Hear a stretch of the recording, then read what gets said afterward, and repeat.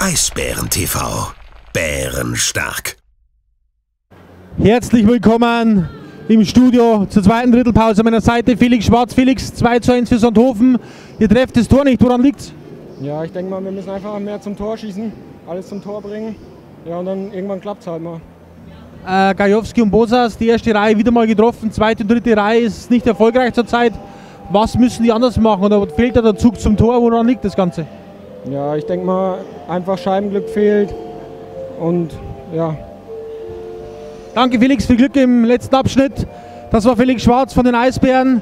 Wir gehen jetzt zu den Highlights und der Werbung. Danke.